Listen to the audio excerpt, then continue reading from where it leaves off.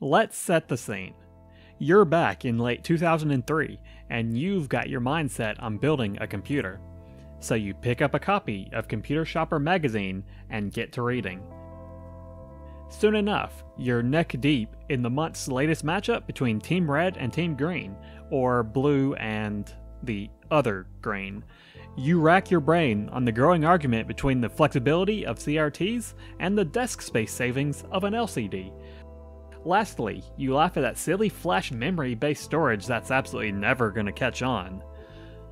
As you put down the magazine, you're dreaming of putting your brand new Athlon 64 and Radeon 9800 in the Antec LANboy and sitting down to play some Vice City, and soon enough, Half Life 2.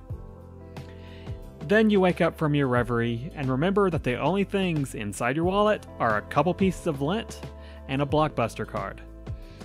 Oh well.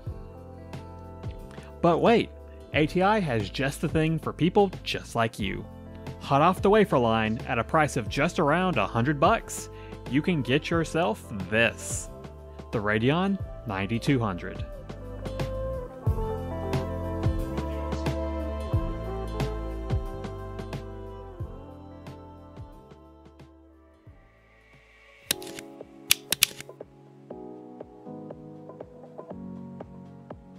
Okay, let's come back to the year 2022 now. There's only so many 2003 topical in jokes I can make in good faith, given that I myself was only about 5 years old at the time. At the time of our little flashback session, ATI was flying high. The Radeon 9000 series was a massive success for the company, starting with the revolutionary Radeon 9700 Pro and continuing with other models in the 9700 and later 9800 lineups. At the core of this success was their R300 architecture, which brought massive efficiency and performance upgrades over the previous R200. While the R200 powered Radeon 8500 marginally eked out wins against GeForce 3, the Radeon 9700 absolutely wiped the floor with Nvidia's best at the time, especially when you enabled anti aliasing. This was made even more impressive when Nvidia's next generation GeForce FX dropped about like a dog drops a turd on the carpet. If you were around at the time, or caught up to speed later on, that's all stuff you probably already knew. But as it's usually told, it's only part of the story. In particular, the part of the story that can be told by the flagship parts. It makes sense that those are the parts that get the spotlight. They're usually the first to release. They're also the ones that show the peak of the technology and produce review graphs that everyone can drool over. But it's not what most people actually could get their hands on. If you're not one of the lucky few, then or now, you have to wait for the lower tier models. These are usually the same architecture as the flagships, but cut down in various ways in order to meet their intended price point. And as mentioned at the beginning, and in the video title, it's one of these lower tier models that we're looking for. So let's take a look at the Radeon 9000 family from the top down. The R300 itself powered the Radeon 9700 series, the launch day flagship. Soon after, it was slightly tweaked into the R350 for the 9800 series. These really were groundbreaking cards for the time. But they've also received a groundbreaking amount of media coverage over the last 20 years. There's nothing new I can add to that. Let's keep going.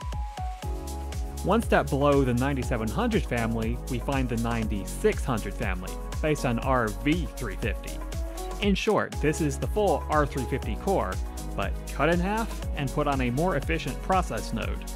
At about half the price of the flagship cards, these still provided an excellent value proposition. I had one of these myself back in the day, purchased with the specific purpose of letting me play Need for Speed Underground. Below that, we find the 9500 with R300 again? Yeah, it took ATI a while to get the RV350 ready for production. Their interim solution was to release the 9500, using the full silicon. ATI just took the 9700 design, cut the memory bus down, and sent it to market. It would only last on the market for a few months, but was in heavy demand for long after, given that these provided performance way above that of their replacement. But now we've run into a problem. RV350 is as small as the R300 series ever got, at least in terms of discrete designs. So how do we get all the way down to the Radeon 9200? Did they downclock something to hell and back to hit a lower performance point? Well, yes, but also no. So, a quick side note here. Have you ever taken a look at this Wikipedia article? You probably have. But have you ever looked at the section for the RX 200 cards? This generation is technically supposed to be GCN2 based. And sure, there's definitely some GCN2 here. But there's also GCN1, GCN3, and Terascale 2. That last one dates back to the HD 5000 series three generations prior. Needless to say, AMD is not afraid to make their product lineups a complete mess. This may be the most egregious case of that, but it's not the first time, or the last time for that matter. In fact, if we go back in time, say 10 years from here? Ah, there we go. There's the Radeon 9200. The apple really doesn't fall far from the tree, does it? What does this mean? It means that the 9200 is missing what the 9 in its name is supposed to mean DirectX 9 support. ATI may have marketed these as DirectX 9.0 compatible, thanks to a loophole that Microsoft wouldn't close until DirectX 10, but the fact that there's only support up to shader model 1.4 doesn't lie. It's simply missing all the shiny new features and optimizations that came along with R300. From a modern point of view, this would feel unforgivable. But honestly, this type of behavior was common back then. The mobile version of Radeon 7000 was stuck on DirectX 6 for some reason. GeForce 4 MX chips were stuck all the way back on DX7 thanks to being based on the GeForce 2's architecture, and even the GeForce FX cards had their own caveats with DX9 support, all the way up to the top of the product stack even.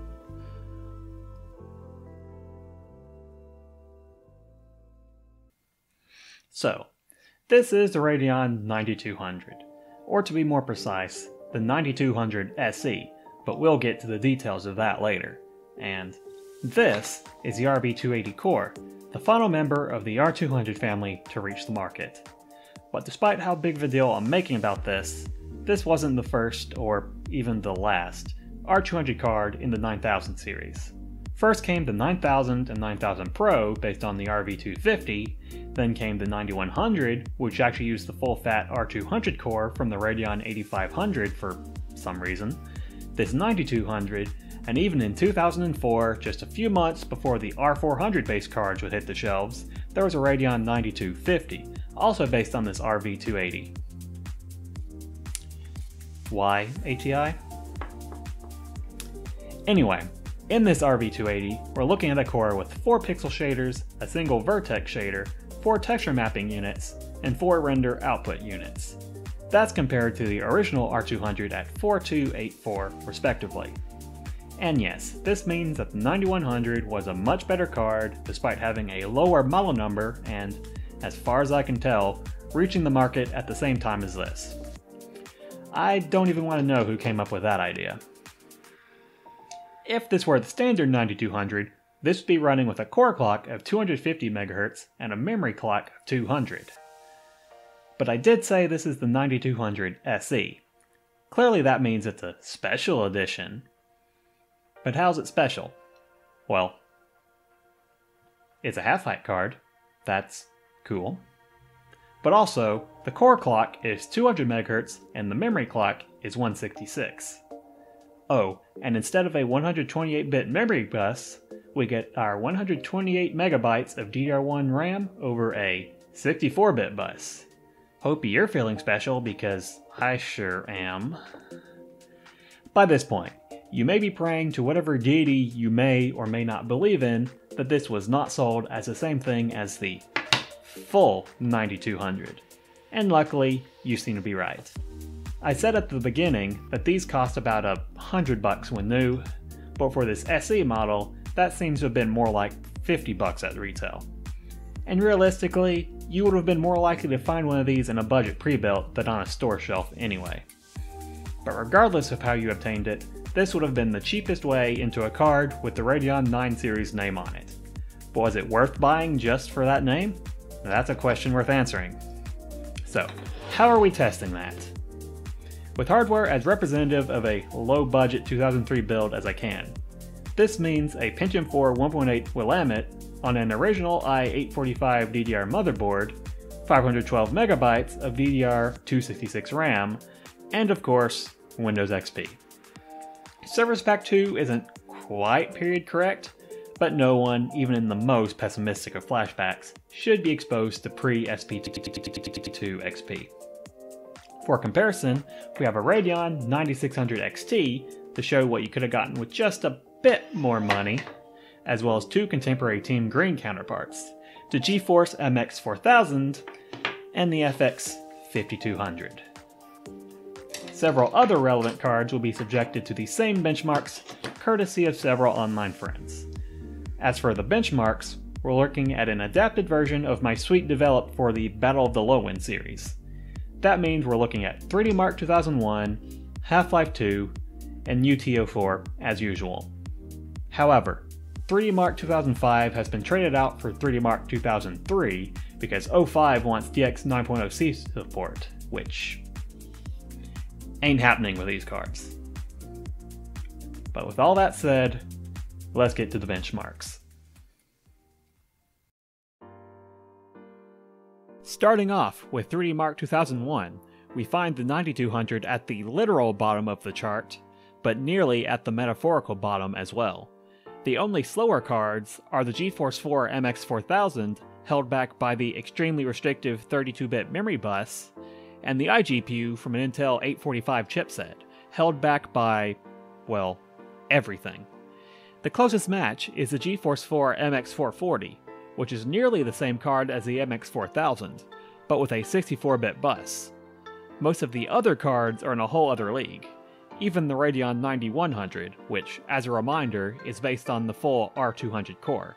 It nearly doubles the performance on offer, while not being significantly more expensive back in the day. Looking at Game 1 in 3D Mark, it doesn't really change the story. Though you may notice the scores on the lower end are a bit closer than they were in the overall scores. What's up with that? Oh, that is what's up with that. There's our first contact with the hell that is DirectX feature levels. 3D Mark 2001 is technically a DirectX 8 benchmark. Game 1 is kind enough to stick with old school fixed function shaders. Game 4 does not. It uses the full gamut of DirectX 8.1 features, leaving all the fixed function hardware in the past. Not that it's much kinder to the low end DX8 and DX9 cards. Our Radeon 9200 clocks in at less than half the frame rate of its R200 big brother, one sixth the frame rate of the R300 flagship, and one eighth the frame rate of the Range Chopper GeForce FX card. The embarrassment continues in 3D Mark 2003. The DX7 cards fall way behind due to only being able to run one out of several tests, and the Intel iGPU doesn't run any at all. Even the R200 cards take a hit, since this 3D Mark does try to run a few DX9 tests. But other than that, the data starts making a bit more sense overall, with scores lining up more or less exactly as either GPU vendor intended within their respective product stacks. Now that the DX7 cards are out of the running, the closest competitor for the 9200 SE is the FX 5200. This should be no surprise, as the two cards were intended to fill the same market niche. Unfortunately, the results are not looking too favorable for the 9200. It's worth noting here that this FX 5200 is also memory bus limited in the same way as the 9200 SE. This was intentional when picking cards for testing, as to make this a fair fight. 3D Mark 03's Game 1 presents us with our last GeForce 4MX compatible 3D Mark test, as those cards just barely present enough feature support for it. As such, those cards put up an almost respectable showing, but still well behind the rest of the pack. Meanwhile, the 9200 has mostly caught up with the FX 5200. As a side note, the 9100 nearly matches the 9550, an RV 350 card. R300 does not provide much of a boost for these fixed function workloads. Moving on to game 2, it's a familiar story. DX6 and 7 are out, R200 is slow at shader model 1.1, and the FX5200 beats the 9200 SE by a healthy margin. All that changes is the margin by which the flagship cards run away with the prize. At this point, I think we've gotten all the useful data we're getting out of the 3D Mark tests. And it's not like the performance in them matters too much, because no one has ever entertained themselves all night with 3D Mark runs. Okay, that's a massive lie. I had fun running these while drinking a beer or two. Anyway, let's see some more representative data. Ooh boy, this is going to be a fun one to explain. I'll just leave you a moment here to really absorb the level of chaos we're looking at.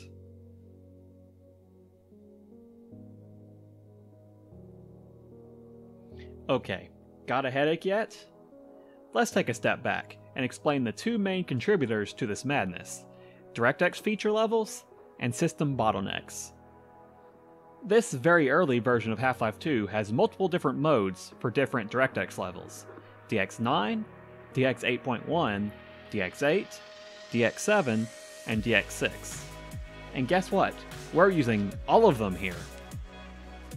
And no, this isn't a typo. The FX cards, despite being DirectX 9 compliant, mostly, run Half-Life 2 in DX 8 or 8.1 mode by default. This isn't a new discovery either.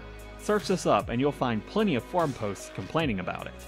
Inside those posts, you find two facts. The first is that this was intentional from Valve due to major performance problems. The second is the magical command line incantation to make Half-Life run in DX9 mode anyway. Could I have used this for benchmarking? Sure. Should I have? In my opinion, no. Given the fact that we're also testing hardware that is truly limited to even older DirectX versions, it seems best to present the data as a normal player would have experienced at the time. Do keep in mind, though, that there is a big difference in what the different GPUs are having to render here. Our second problem isn't quite as relevant to the low end cards we're supposed to be discussing, but still worth mentioning. The high end cards here are getting bottlenecked. Badly. The slow Pentium 4 and glacial RAM clocks we've got going on here are in no way equipped to keep up with high end GPUs. This is why you see some weird results, where mid-range cards are significantly outperforming the flagships. This also played into the 3D Mark results, but wasn't quite as obvious. Anyway, enough side notes. Back to business. Even with the DirectX madness, it's clear that the 9200 SE is not fast. The 9100 is well ahead to no surprise, and so are the R300 cards despite running a more intensive test we should probably ignore the GeForce 4 MX results, but the FX cards are running at a similar feature level, so let's work with that. The 9200 and 5200 are within margin of each other, which is actually a nice surprise given some of the 3D Mark results. In the water hazard test, the results are their own flavor of interesting. One has to assume that the water effects in Half-Life 2 are really intensive in DX9 mode. That, and the physics are intensive on everything. The 9200 doesn't actually do too bad here, all things considered. It's ahead of the FX 5200 by a decent margin, and on the way to even matching the 5200 Ultra. Also close to the 9550, but that's still not a fair fight. Nova Prospekt is honestly a repeat of what we saw in point insertion. The numbers change, but the conclusion doesn't. 9200 slow, 5200 also slow, DirectX 7 is easy mode, everything else leaves them in the dust. Let's move on? Let's move on. Unreal Tournament 2004 actually cuts down on most of this chaos, in that it doesn't have a DX9 code path to contend with. All the ATI cards and the GeForce FX cards are running on DX 8.1. the DX7 code path also doesn't seem to be drastically cut down, unlike in Half-Life. On the Anubis demo, the 9200 actually does pretty well, but on the other hand, all the cards scored within a surprisingly tight margin.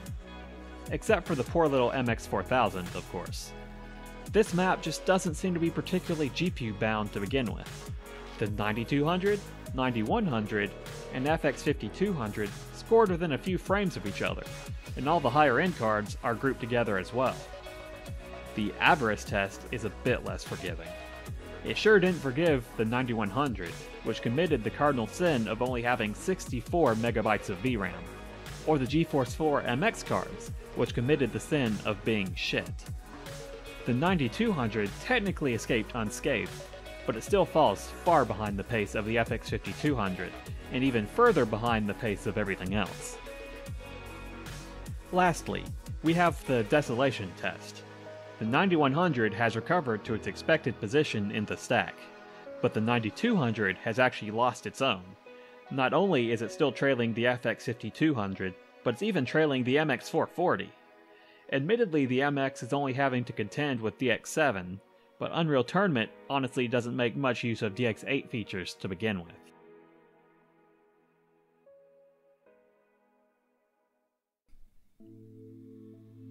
So, what have we learned here? I guess I should start with the question I led into the benchmarks with. Is the Radeon 9200 SE worth obtaining? On face value, no.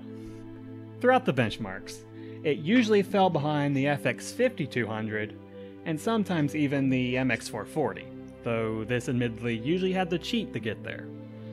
But there is one more chance that I can give the 9200. Early in the lifespan of the R200 family, it was well known, controversial even, that ATI's drivers were less than stellar. By the time this card came out, that should have been completely straightened out. But for the sake of argument, let's say that NVIDIA's drivers are more efficient than ATI's, and that this sad little 1.8 GHz Pentium 4 was dragging the Radeon cards down with it. That's why I've now put a 2.2 GHz Northwood in this machine, and even given it a teeny tiny little 5% overclock for a core clock of 2.3 GHz and RAM running at DDR 280. So let's give UT04 one last shot. And... Nope. I had to try. When I decided to name my YouTube channel Tech Left Behind, what I meant by the name was that I wanted to tell the story of the hardware that's come and gone, and that no one, even in the retro tech community, is giving any thought to. In other words, the tech that's been left behind. In doing so, I want to give some level of redemption to this hardware and talk about how it's a hidden gem or how it brought us here today. Both the Radeon 9200 SE, that's kind of hard to do. There's just nothing to recommend there. The performance is bad by any metric, and it doesn't really fill any sort of niche either. If you want a DirectX 8 card, you should get the Radeon 9100, or any other R200 card that doesn't have the memory bus cut in half. If you want a tiny little nugget card that has DirectX 9 compatibility, that's where the FX 5200 comes in.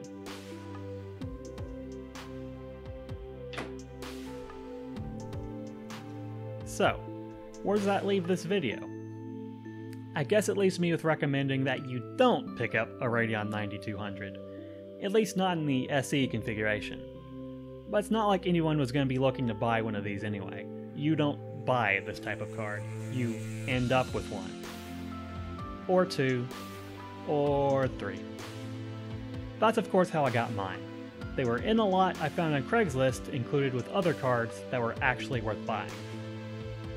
But when you do end up with this type of card, maybe it's worth putting aside the crown jewels of your collection every once in a while and playing in the mud for a bit. It's a nice change of pace. Thanks for watching.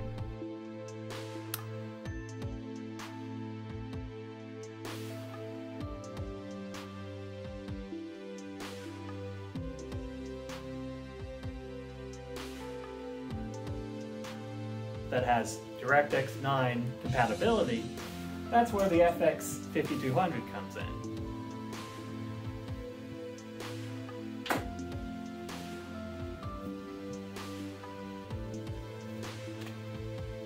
Holy shit, I did it!